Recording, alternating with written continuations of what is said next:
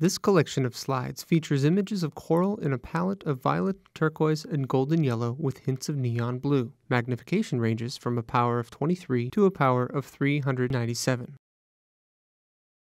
Montipora, undulating pocked Montipora coral resembling a mountain range of rolling hills, violet in the center, golden yellow at our lower left, and turquoise at the upper right the spiked and pocked surface of a Montipora coral resembling a dense evergreen forest on rolling hills. Zeppelin shaped polyps rising out of a Montipora coral amid recessed shapes resembling dandelions. A zeppelin shaped polyp rising out of a Montipora coral surrounded by recessed shapes resembling dandelions.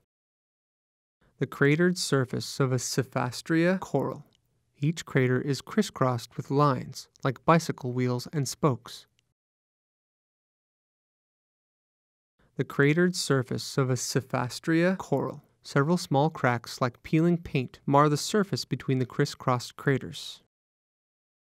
Favites, a dense, irregular quilt of dandelion shapes, turquoise at our lower right with violets and yellows at our upper left. Astreopora, a round hole surrounded by jagged spikes, like the open mouth of an inflated blowfish. Astreopora, a round hole surrounded by jagged spikes, like the open mouth of an inflated neon purple blowfish.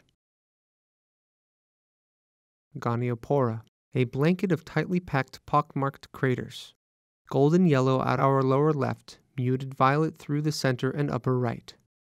Goniopora, several tightly packed craters on the surface of a Goniopora coral.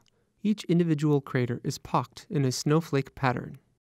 Porites, a vast blanket of tiny muted violet star shapes resembling a loosely knitted afghan. Porites, a field of clustered stars against a black backdrop.